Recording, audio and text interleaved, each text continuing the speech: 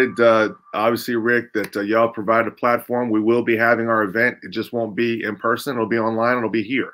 It's part of the NFL Draft Bible Network, and uh, we're really excited about that. We're appreciative of uh, you providing us that platform. It's going to be a lot of fun.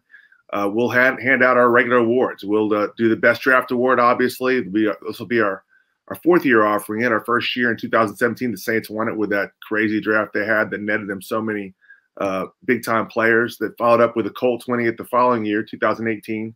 And then 2019 was the 49ers. And, um, you know, all of these teams not only had great drafts, but they kind of propelled them to big seasons the following year.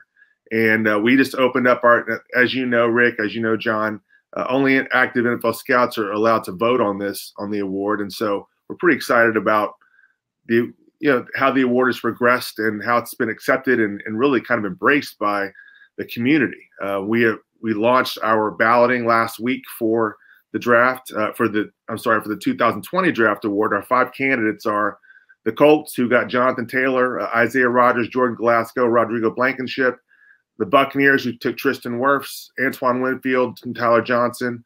Uh, the Washington, who got Chase Young, Antonio Gibson, Cam Curl.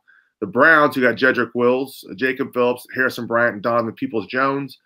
And the Jags, who got CJ Henderson, Laviska, uh, Laviska Shenault, and James Robinson. Who can forget him? You've already kind of discussed him as an undrafted free agent out of that process. So we've got five great contenders.